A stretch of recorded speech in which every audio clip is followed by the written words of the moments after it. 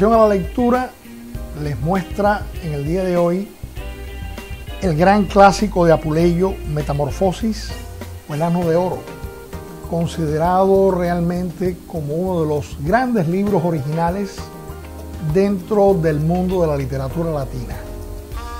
Apuleyo escribió este libro en el siglo II de nuestra era y fue realmente un verdadero éxito para el público latino y romano.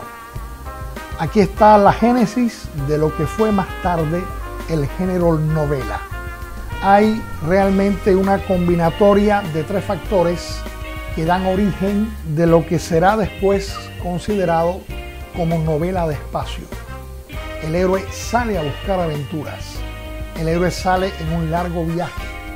El héroe en gran medida se compromete con el espíritu de una época y se traslada físicamente de un sitio a otro. En el caso del asno de oro, vemos a Lucio, quien es transformado por artes de magia en un asno.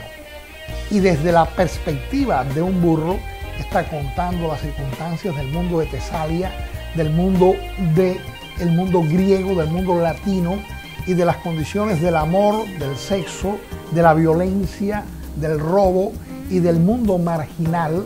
La novela está llena de cuentos y como cada personaje va contando en gran medida lo que le ocurre en su vida. Y esto confluye en la vida de ese asno maravilloso que lo ve, lo escucha y lo observa todo y que al final terminará transformado en algo nuevo.